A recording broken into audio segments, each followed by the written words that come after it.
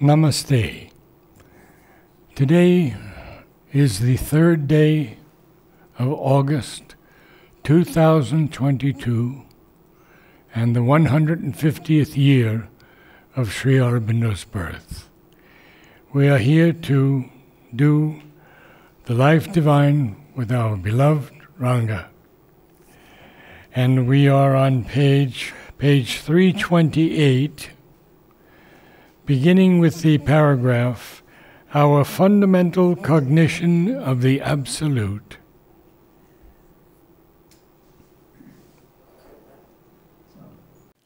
we will do what we normally do. We will make a brief summary of the previous chapter, uh, sorry, the paragraph, so that we have the sense of continuity of what he's saying. So, he's saying the previous para, the overmind consciousness, which is just one plane below the supermind.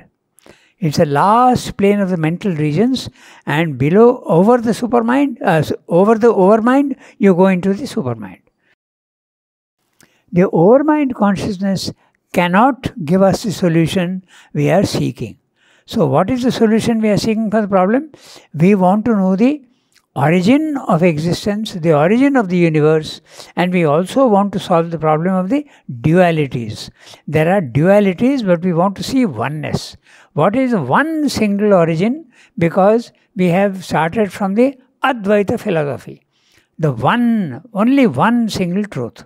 So, the overmind cannot give you that solution. That's what he's saying.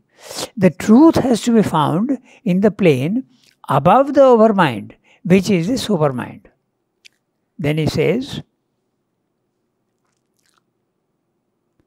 but our mind, the normal human mind, is a half developed consciousness and is in ignorance and does not see the reality. It sees only the end results, the forms of the universe. The process of making the forms, the origin and the execution of the forms, it does not see. It sees only the end forms. We feel that that's only reality. Actually, it's the end result of the formation of the universe. The forms in the universe.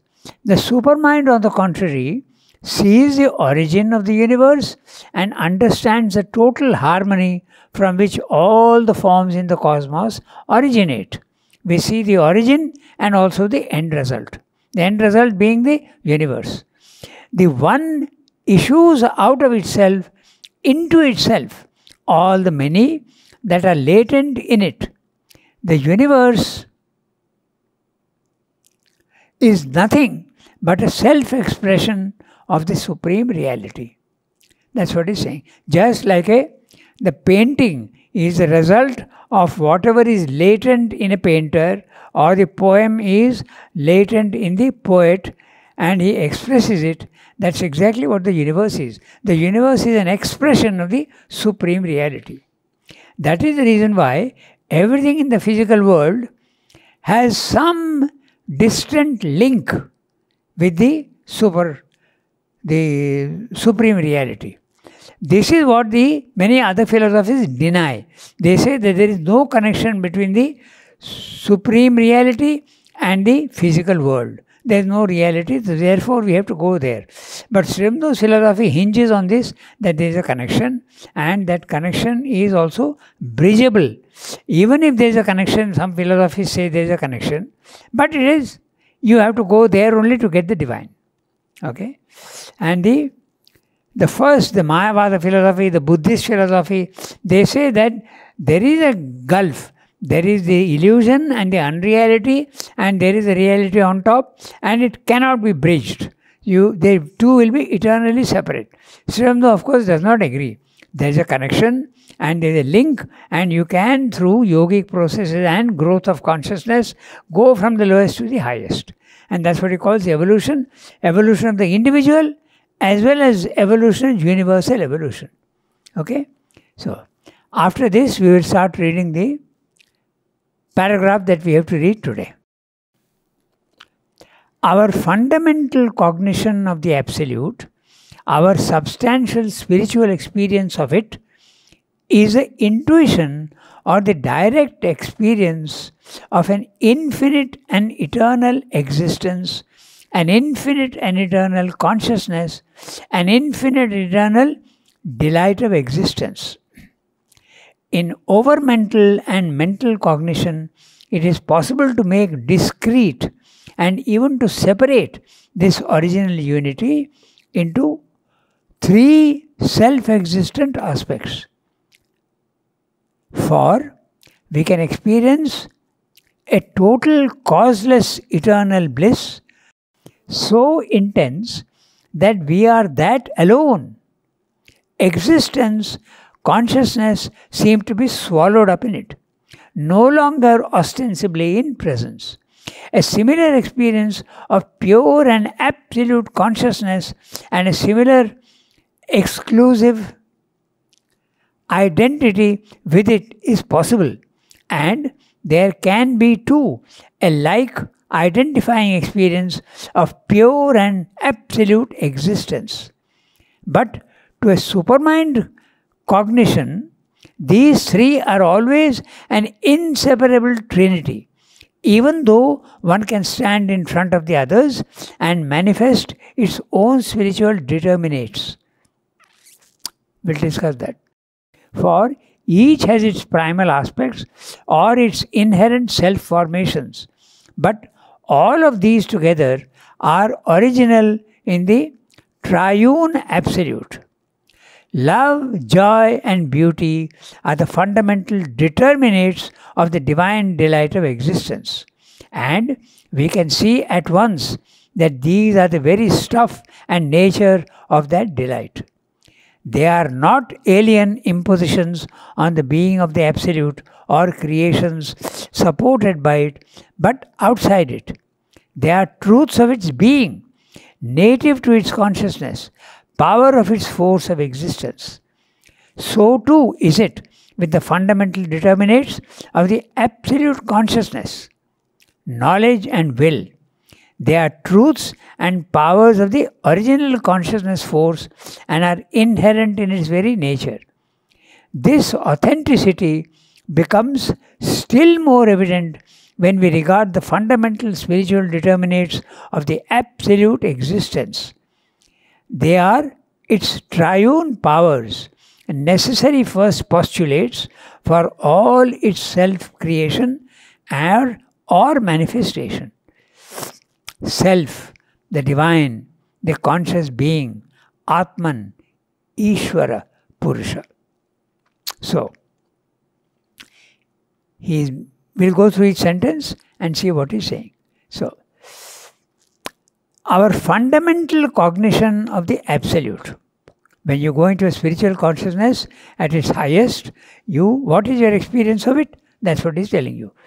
Our substantial spiritual experience of it is the intuition or the direct experience of an infinite eternal existence, infinite eternal consciousness, infinite eternal delight. In other words, Satchidananda.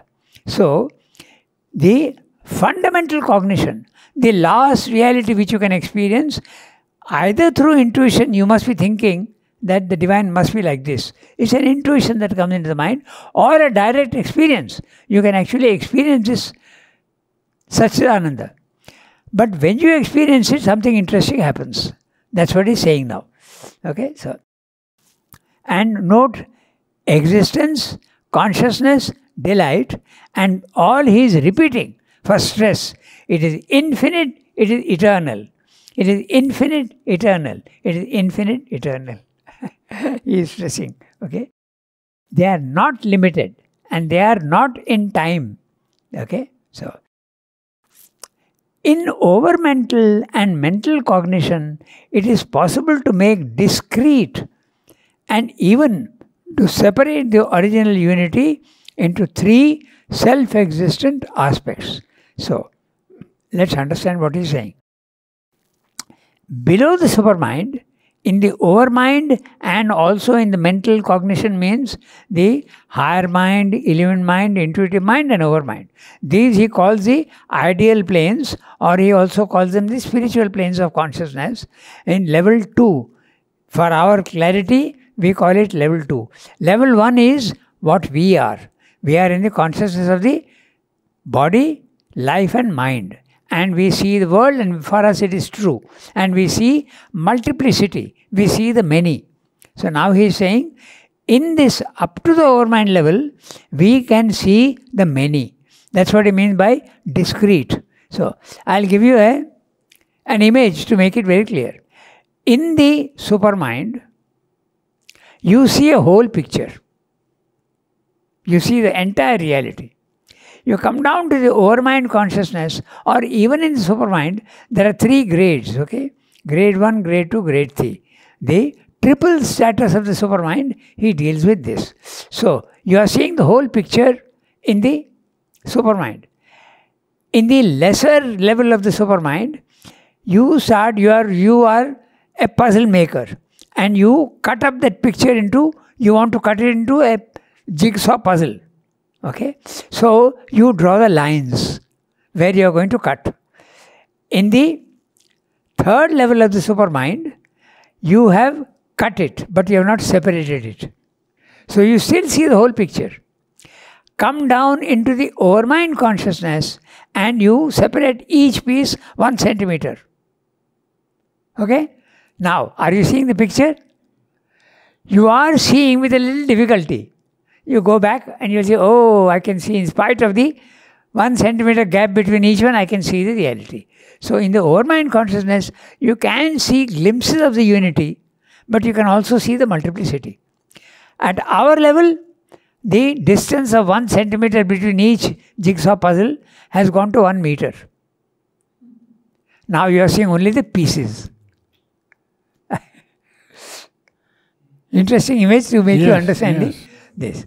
So, as you keep going up, so we see the jigsaw puzzle and we don't understand what is this part of, what is this stone, what is that river, are they all connected? No, they don't seem to be connected at all. So, this is what he's saying. And he's using an interesting word.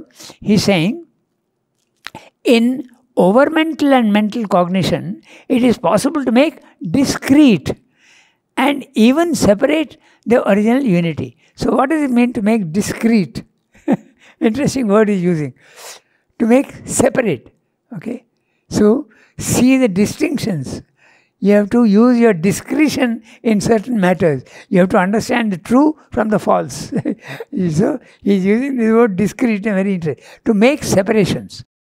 In our overmind consciousness and mental consciousness, it's possible to make discretion. It is possible to make discrete and even to separate the original unity into three self distinct aspects. What are the three self distinct aspects? Sat, Chit, Ananda.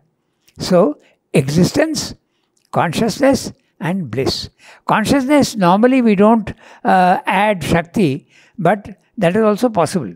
So, he is saying now in this, we'll read sentence and then go into it. He is saying, in the we see them separately. So in the spiritual planes of consciousness, he is saying that you can experience consciousness alone. And when you are experiencing consciousness, Sat and Ananda have got absorbed into it.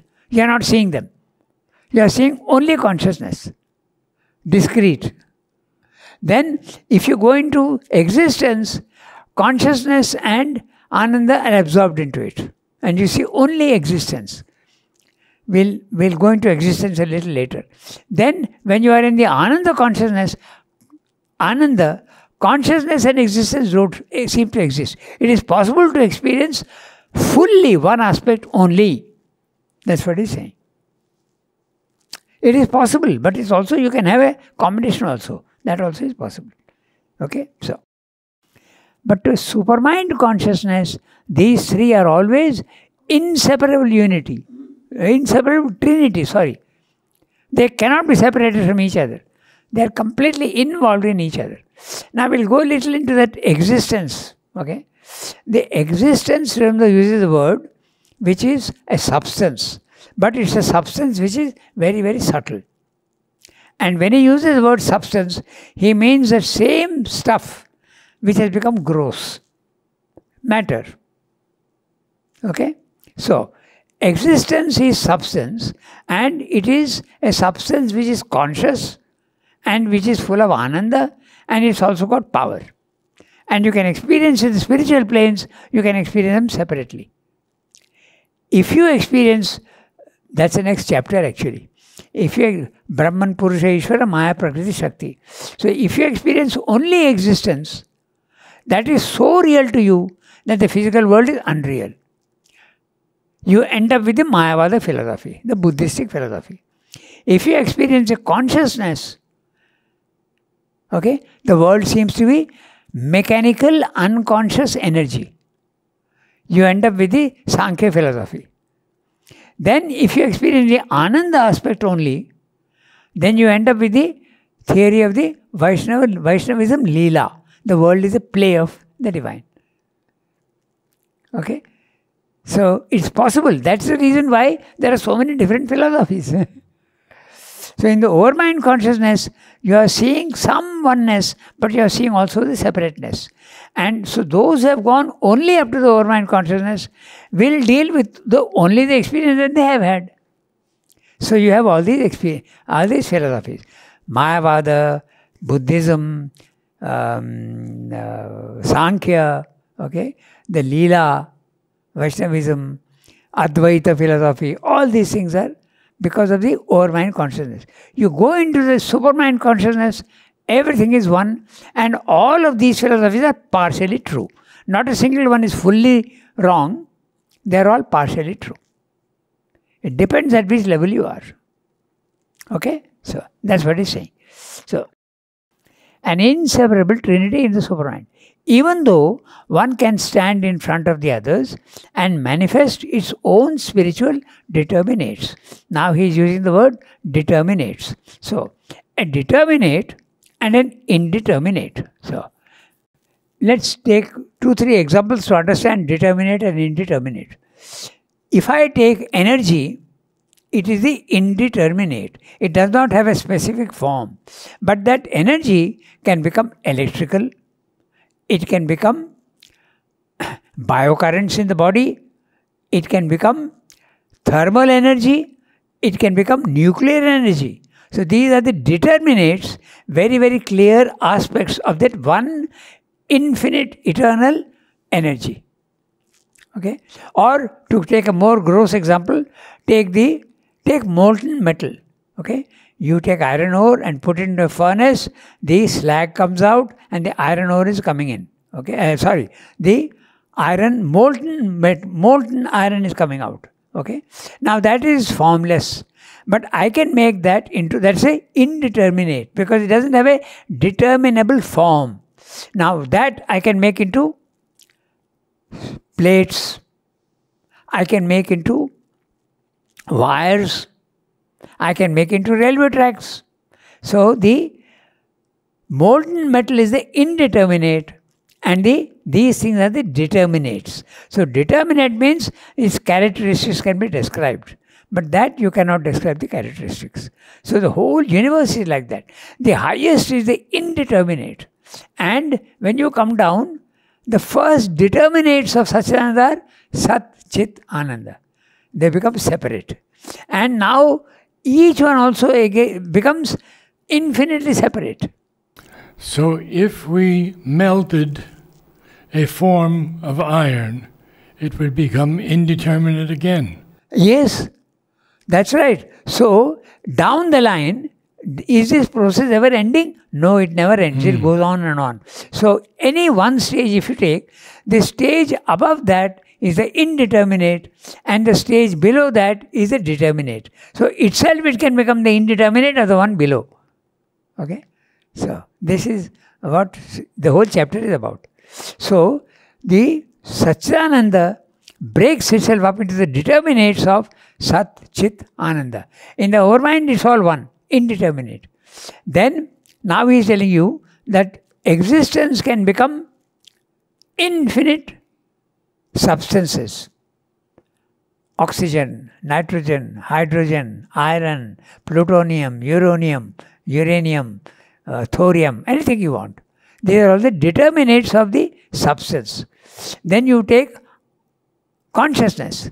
Consciousness divides into knowledge and will. And Ananda divides itself into, he's telling you, we'll read that.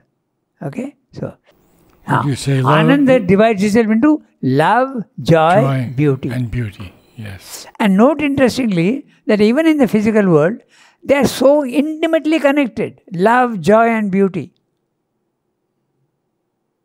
Each one can produce the other. If there is love, it can produce joy. At our level, it can also produce a little bit of sorrow, also, but that's another matter. Okay? And it also, when you see the beauty of something, it, you can love it. So, these, there are three. So, Ananda becomes love, joy, and beauty are the fundamental determinants of the divine delight of existence. And we can see at once that these are the very stuff and nature of that delight. They are not alien impositions on the being of the Absolute or creation supported by it, but outside it. It is not like that. They are truths of its being, native to its consciousness, powers of its force of existence. This sentence here, he is denying the Mayavada philosophy. The Mayavada philosophy says that there is a consciousness which is absolutely pure and featureless and static, like the cinema screen. Okay? And the events of the physical world are the images being thrown on the cinema screen. So the screen is separate and the images being thrown on the screen are actually separate, but you don't see the distinction. You are watching the film and you are not even conscious of the screen. This is our condition. We are seeing the images, that's all the forms in the universe, and we feel that they are real. But the Mayavada philosophy says, no, they are only reflections on a screen. The reality is a screen. Remove the images, what remains? Only the consciousness of the self, the Brahman consciousness. So he is denying here. He is saying that's not true. He is saying that these things also, the determinants are also real. All the forms that you see in the physical world are, there is a reality behind the apparent form. That's what he's saying. Read that sentence again. Okay? They are not alien impositions on the being of the Absolute. Which one he is talking of love, joy, and beauty are not, they seem to be separate. Love, joy, and beauty are fundamental determinants. And we can see at once that these are very stuff and nature of the delight. They are not alien impositions on the being of the Absolute or creation supported by it, but outside it. It is neither that nor this. Okay, he is making a di- distinction. One is impositions on the Absolute. Second possibility, creations supported by it but outside it. Okay, that means like the poet and the poem. It's not even like that, he's saying. Okay, like the artist and his painting. They're two separate things, but essentially they are the same. That's what he's saying. The world and Satchidananda are essentially the same. But what about these alien impositions? Yeah, alien means it has nothing to do with the world. The image being thrown on the screen has nothing to do with the screen. It's an alien imposition. That's what it means. So the physical world that you see is an alien imposition upon the screen of your consciousness. Okay? And that's a Mayavada philosophy. Srimad is denying. Saying, no, see carefully and you will see that they are all connected and all are real. But you have to rise to a very high level of consciousness to see that. Okay? So, so too is it with the fundamental determinants of the absolute consciousness, knowledge and will. Okay? They sep- separate themselves into knowledge and will. They are truths and powers of the original consciousness force and are inherent in its very nature. This authenticity becomes still more evident when we regard the fundamental spiritual determinants of an absolute existence. The, that it becomes absolutely clear that absolute existence divides itself up first of all into five states ether, air, fire, water, earth. They are levels of consciousness. They are not actually ether, air, fire, water. They are only images to make you understand. Okay? That ether means very, very subtle. But that substance can become slightly less subtle, air. It becomes even more subtle, even less subtle, fire, then water and earth. They are all nothing but the substance which is taking different forms.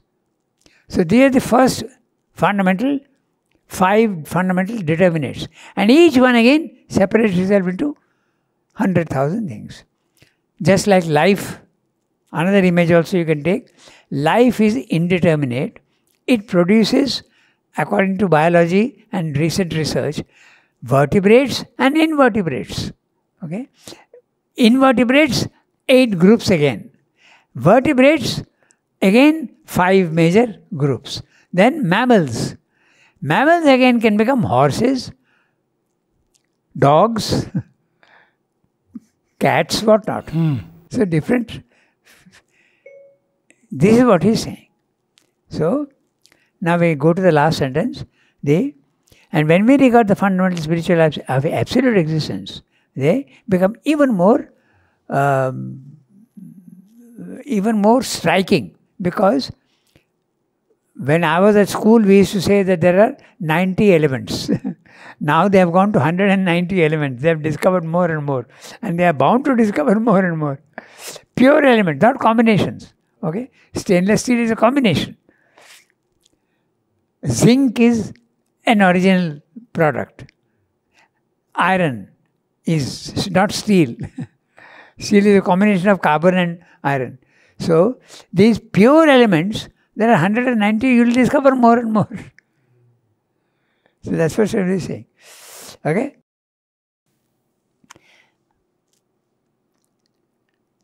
And it, goes on, there is no end to it. Na? Suppose you take carbon, it can become coal, but it can also become diamond. diamond is nothing but carbon. I have a um, joke from Jyoti Priya. A diamond is just a piece of coal that stuck to its job. You But we don't care so much for the coal, but we care very much okay, so finally he's saying that the absolute existence is, are triune powers, necessary first postulates for all its self creation or manifestation. Self, the divine, conscious being, Atman Ishvara Purusha. Okay? The self is the conscious being and Atman Purusha Ishvara. Three different levels. Okay? So, this is what he said in the para. Satchidananda divides itself into three, and each of these three divide themselves again into others. But all of them are real and not alien impositions. They are all real. Mayavadins are saying they are not real. Buddhists are saying they are not real. But he sticks to this that there are there is a connection and there is a gradation. But reality is not compromised. Okay. If we pursue the process of self manifestation farther, we shall see that each of these aspects or powers reposes in its first action on a triad or trinity. For knowledge inevitably takes its stand in a trinity of the knower, the known, and knowledge. Love finds itself in a trinity of the lover, the beloved, and love. Will is self fulfilled in a trinity of the Lord of the will, the object of the will, and the executive force. Joy has its original and utter gladness in a trinity of the enjoyer, the enjoyed, and the delight that unites them. Self is inevitably, sorry, self as inevitably appears and founds its manifestation in a trinity of self as subject, self as object, and self awareness, holding together self as subject object. Okay? The subject is looking at the object, and the connection between them is the third element. These and other primal powers and aspects assume their status among the fundamental spiritual self determinations of the infinite. Okay? All others are determinates of the fundamental spiritual determinates significant relations, significant powers, significant forms of being, consciousness, force, delight, energies, conditions, ways, lines of the truth process of the conscious force of the eternal, imperatives, possibilities, actualities of its manifestation. All this deploying of powers and possibilities and their inherent consequences is held together by supermind cognition in an intimate oneness. It keeps them founded consciously on the original truth and maintained in the harmony of the truths they manifest and are in their nature. There is here no imposition of imaginations, no arbitrary creation, neither is there any division, fragmentation, irreconcilable contrariety, or disparateness. But in mind of ignorance, these phenomena appear. For there, a limited consciousness sees and deals with everything as if it were all separate objects of cognition or separate existences, and it seeks so to know, possess, and enjoy them, and gets mastery over them or suffers their mastery. But behind its ignorance, what the soul in it is seeking for is the reality, the truth, the consciousness, the power, the delight by which they exist.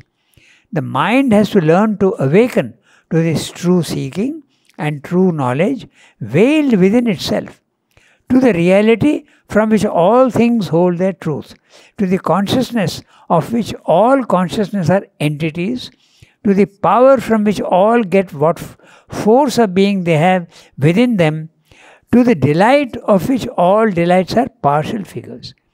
This limitation of consciousness and this awakening to the integrality of consciousness are also a process of self manifestation, are a self determination of the spirit, even when contrary to the truth in their appearances. The things of the limited consciousness have, in their deeper sense and reality, a divine significance. They too bring out a uh, truth, sorry. They too bring out a truth or a possibility of the infinite of some such nature as far as it can be expressed in mental formulas would be the supramental cognition of things which sees the one truth everywhere and would so arrange its account to us for our existence, its report of the secret of creation and the significance of the universe. Hmm. Huge para. And he is saying that everything starts from one, becomes the many. The many are not the falsehood, they are also the truths. This is basically what he's saying. Now, this idea of determinate and indeterminate, while reading, I got another idea. So, we'll discuss that also a little bit. It will help to understand this process of one becoming the many. So, take a human cell. We are all human beings and we have in us flesh, bones, okay? We have cartilage, we have light sensitive retina, we have nail, so many different types of substances in the body. But we have started from one single cell. That one single cell, when it is fertilized, okay, the ovary from the is when it is fertilized by the sperm, it starts dividing itself. It divides itself into two first. Then it goes by geometric progression and the 2 become 4 and the 4 become 8. 8 becomes 16. 16 become 32 etc. Now, at what point does bone tissue appear, muscle tissue appear, light sensitive retina tissue appear, nail tissue appear? At what point? There is a point when it starts appearing. That is what you call the Stem cell is the word. So that stem cell is now in a condition where it can take any form it wants. So if you take that stem cell and put it with bone, it will develop into bone tissue. If you take that and put it with muscle tissue, it will become muscle tissue. So the one becoming the many, and slowly, slowly, there is muscle tissue, there is bone tissue, there is cartilage tissue, there is nail tissue, there is light sensitive tissue, cartilage, so many different types of things. Is the stem cell making it or joining with it? What? Ah, it becomes. It I mean, this is a biological question, but uh, I'm not an expert in that. Ah, but they they don't actually do that because when you take a stem cell and use it to for experiment, you are destroying a life. So that's a problem. A amount of research being done there is, I think, limited. I'm not sure of what I'm saying, but I think this is what I've read. Okay, okay. So it's a very big one, but basically this is the how it happens. The one becoming the many, and all of them are connected, and it's a very very logical system. And you can see what is it. Start looking at the beginning. We look into each sentence. Because I feel that to read Sri Aurobindo, you have to use, you have to understand his use of words. Because a word is a word, but what is meant by that word, if you go into carefully detail, then you start uh, to understand what he's saying. So, we start looking at it. If we pursue the process of self manifestation further, he means the one becoming the many, which is self manifestation. Self manifestation, why self? Because itself it is becoming what it is. In the case of a, an artist producing a painting, the essence of it is self manifestation. But the painting is not the painter. so, but here he is saying the world is nothing but the manifestation of the self itself. It molds itself into all these things. It's not taking a foreign material and making something. That's what he means by self manifestation. When a company is making a mobile, it is taking material from outside and making it. Okay? But here, the divine is using his own material and creating, that's why self manifestation. Okay? The word self is very meaningful. We have to understand exactly what he's saying. I give you an example of what is not self manifestation. You take a, a metal piece which is not you and make it into a vessel, but it is not self manifestation. It is manifested but different. but here it is self manifestation. The world is nothing but self manifestation of the divine. If we pursue the process of self manifestation further, we shall see that each of these aspects or powers reposes in its first action on a triad or trinity. And he is giving examples. For knowledge inevitably takes its stand in a trinity of the knower, the known, and knowledge.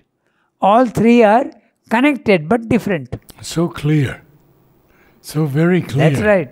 Okay. So knowledge divides itself into knower, known, and knowledge. Similarly, love finds itself in a trinity of the lover, the beloved, and love. okay? So none of them are really the same, but they have come from the same source and it becomes these three. Will is self fulfilled in a trinity of the Lord of the will, the object of the will, and the executive force.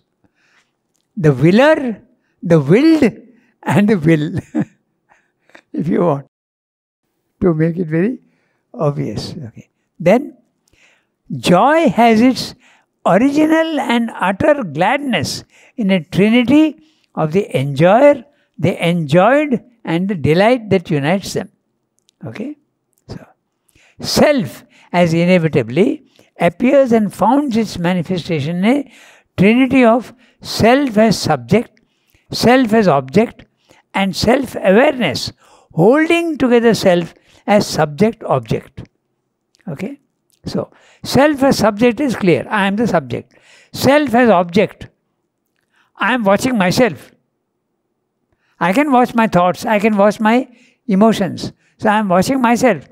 My emotions, my thoughts are myself. So, um, inevitably appears found self as subject, self as object, and self awareness holding together self as subject object. These and other primal powers and aspects assume their status among the fundamental spiritual self determinations of the infinite. This is what happens in the, the indeterminate and determinate. All others are determinates of the fundamental spiritual determinates. So, what are the fundamental spiritual determinates? Sat, Chit, Ananda. Each one becomes again three. That's he said. Okay. So, now he says it can go into further divisions. And what are those divisions? Look carefully. Okay. So, one second. All other are determinates of the fundamental spiritual deter- yeah, determinates. Significant relations, significant powers, significant forms of being. Consciousness, force, delight. So again he is coming to being is Sat, consciousness is Chit, force is Shakti, and delight is Ananda. Energies, conditions, ways, lines of the truth process of the conscious force of the eternal. Now, imperatives, possibilities, actualities of its manifestation. So now, whatever is possible is being created. Some of these things which are created are imperatives. They become absolute realities in the physical world. Some are possibilities kept over for some future. Hmm. and actualities which have already come into existence. So the imperatives is the highest it is bound to become. Then the next one is the possibility. That imperative can become two things. So there are possibilities. Then the possibility becomes an actuality. so there also you can see a gradation. No? So actuality is the manifestation. All this deploying of powers and possibilities. Note the word deploying. When a, an army has to fight a battle, the general says, okay, 100 soldiers I'll send here, 100 soldiers I'll send here, 200 here, and then deploying. So this deploying is one army being separated into different units. The word deploying means exactly that. Okay? So in fact, they use the word deploy even uh, for military purposes also, they use that. The powers and possibilities their inherent consequences is held together by supermind. But all these things, although they are separate, in the supermind they are all one. That's what he's saying. So possibilities, imperatives, possibilities, actualities. Now this is highly interesting. Sri Aurobindo says in 1920, India is going to be free imperative. Didn't he say mother told mother saw it? He said mother saw that India was free. Yeah. Now, imperative. But the possibility that India will not become Akhanda Bharat, but it will split into Pakistan, India, and Bangladesh. Finally, that's the actuality. It's interesting. The imperative is yes, India will be free. Okay? Seen 30 years before the, its actual appearance. That's the imperative. Then the possibility.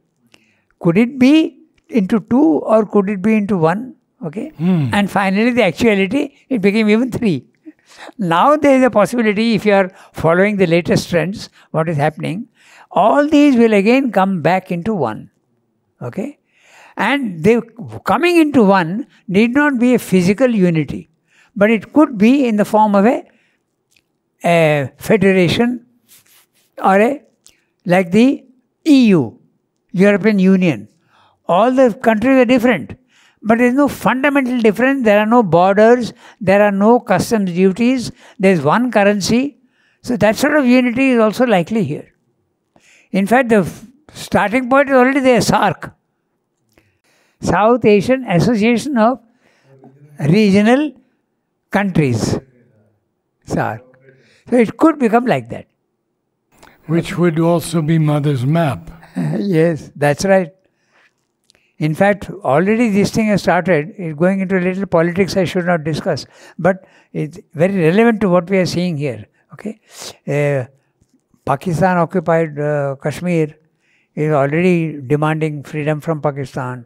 Uh, Balochistan also is doing the same. Mm-hmm. Yeah. Sri Lanka is not on the verge; it has collapsed, Mm. and Pakistan is about to collapse. Yeah. so, actualities. okay, so very interesting. Do note the words, huh? imperatives, possibilities, actualities of its manifestation.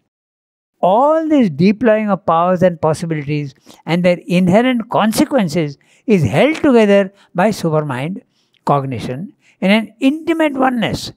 It keeps them founded consciously on the original truth and maintained in the harmony of the truths they manifest and are in their nature.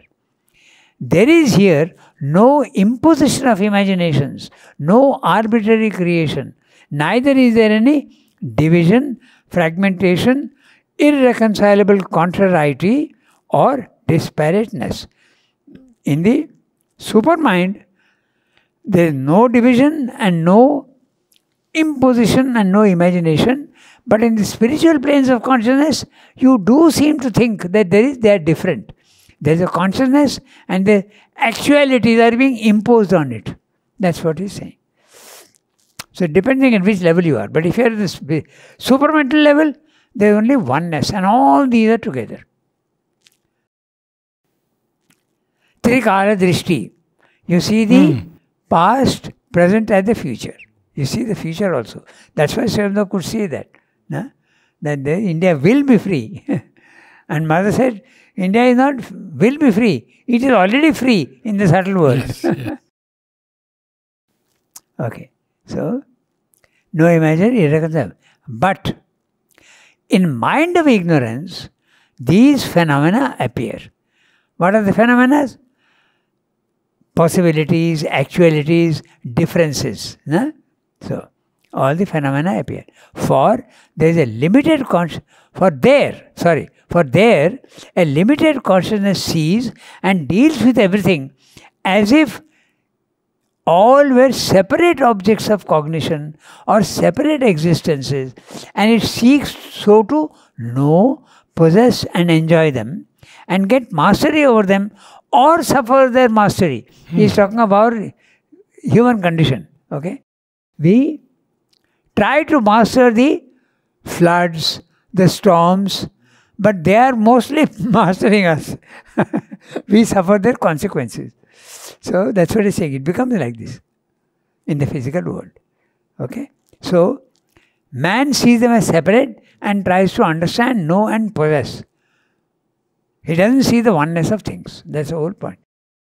These phenomena appear. For there is a limited consciousness. For there, the limited consciousness sees, deals with everything as if they were separate objects of cognition. In other words, there is no separateness at all in reality. They are all one. Just like all of us are sitting here, our bodies are all seeming to be separate, but they are essentially the same.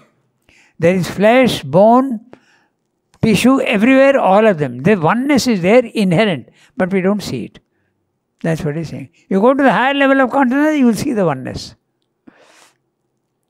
So this world is perfect. Pardon?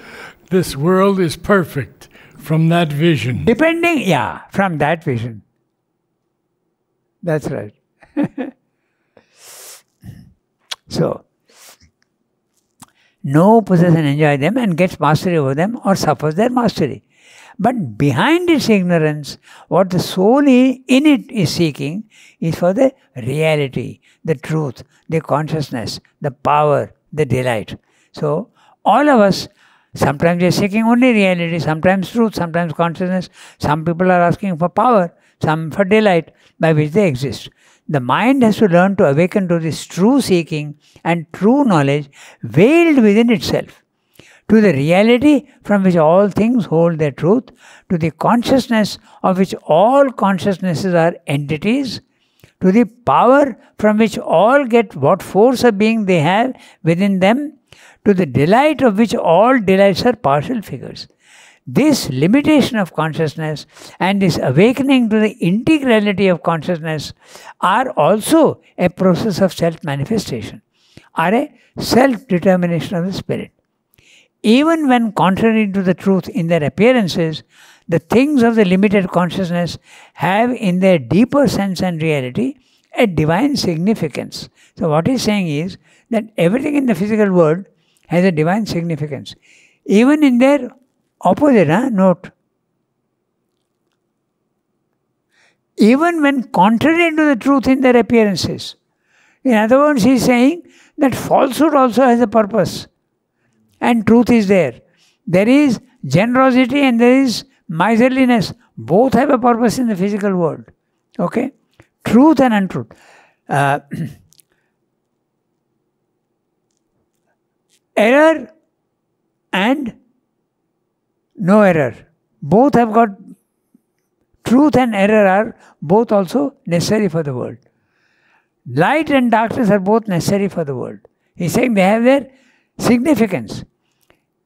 We can understand to a certain extent mentally, we can say that if there is only light, okay, we won't give enough value to it. Only if there is darkness, we know what light is. Okay? And if there is falsehood and you feel the falsehood, you will want to have truth. If there is no falsehood, you will be static. You won't try to progress. Mm. So that's why this is the purpose that is there, he is talking about. Okay? Of some such nature as far as it can be expressed in mental formulas would be the supramental cognition of things which sees the one truth everywhere and would so arrange its account to us of our existence, its report of the secret of creation and the significance of the universe. So when you go to the supramental level, all the contraries, the problems are solved. At the moral level, we want to go from falsehood to truth, from ignorance to knowledge, we want to go from inconscience to consciousness. But there is a purpose to it. Here we deny the purpose of all these negatives. But there you see the purpose. You see everything and you understand the origin of creation and you also understand why all these things exist in the physical world. It's report. It's report. Yeah. It's a report of the secret of creation and the significance of the universe. In other words, when you go there, the secret is revealed, revealed to you. It reports to you the significance of the universe. That's what it means.